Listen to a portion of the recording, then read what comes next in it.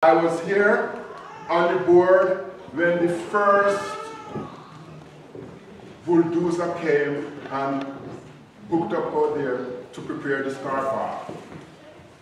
So I was here when the first stone was laid in this building.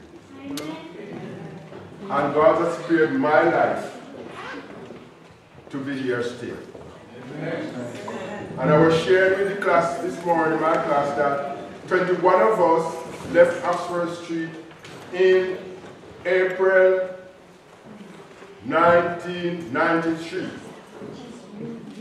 Which means April gone, we've been worshiping in Bilston 20, over 20, 21 years. You know? And God has been good. And for most of this time, her colleague, when she started, was working with a beautiful lady. What was her name again? You don't remember? Oh, that's all right. But they've moved on. But Usha has been looking after us all these years. And we want to say, Usha, we love you very much.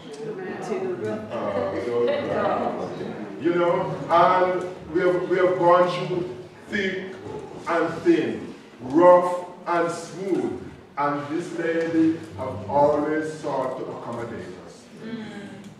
And when things got very tough in this place over the last several months, she said, Ron, let's work together. And so we could, I could ring her up, she could ring me. When rents, when, when, when the building is, when, when there's a party or whatever, we work together. And the Lord has been when I come to pay the rent month after month, always have a lovely talk. Usha, we love that. I know. we, we, I shall miss you. We, we, we love you, each other, we love each other. We thank you for accommodating us, for looking after us, making us welcome. And I said to her, even though we are moving, it's nice not to dirty the water behind you. because you never know how life turns out. You know. And if the time comes when something happens there we need to rent this place, I'm sure if there's vacancy, we'll have us. God bless us. And I've also asked her, there comes the vicar. If there was a sale on this place, we would like to have the first refusal. ah, so God bless you. We love you. And as a token of our appreciation for you and Glenn, God bless Glenn, our caretaker. Sometimes I'm away. Sometimes I'm away. Come Glenn. And when I can't find somebody trustworthy enough to cater for this place, I'll have a word with Glenn and he will open up for me and lock on so that the members can be catered for. Mm -hmm. I like to say, Brother Glenn, we don't take anything for granted. Appreciate your kindness and we love you. And so, Sister Scarlett has got a little gift from Shaq and one for you. Please accept it with our fondest love and best regards. And we will keep you always in our prayers. And remember to pray for us.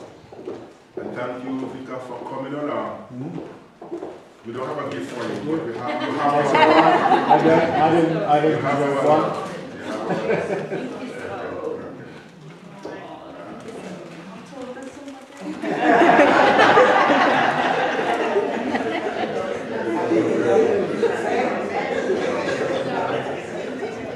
Come on, prayer members, come give them a hug.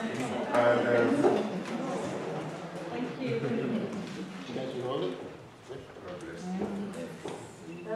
Can I just say one thing, Ron? Um, I'd like to thank everybody for being part of the community for a long, long time.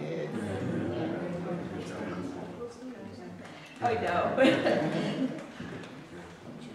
it's so sad.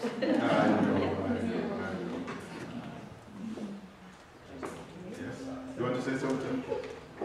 Well, so I don't, Yes. I don't feel like I really, uh, it's a shame that I've come for the first time when it's your last time. and I apologise for that. The problem is that I'm usually busy doing other things on. Saturdays.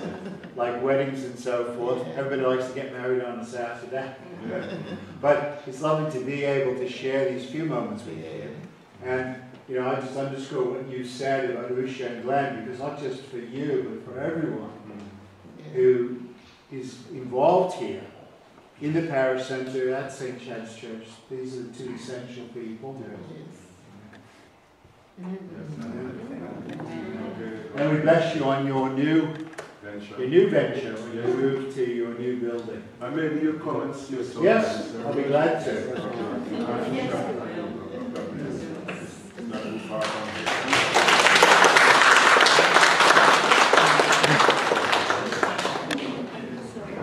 Okay, and thank you all for staying. For this auspicious